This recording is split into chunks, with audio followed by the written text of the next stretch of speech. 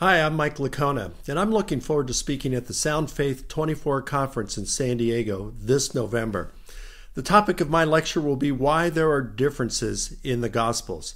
Now, anyone who has spent some time, a significant time in the Gospels, understand um, clearly that there are differences in the way the Gospels report the same events.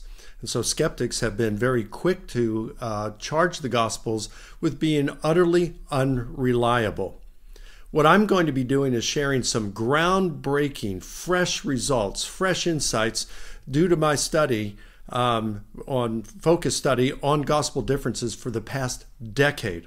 And as a result, you'll walk away with a fresh confidence in the reliability of the Gospels, and you will discover new insights in Scripture, both theological and historical. We'll have a good time. There will be a time for Q&A as well.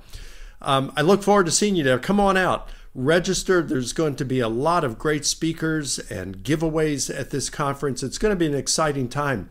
Register at soundfaith24.com. Looking forward to seeing you this November.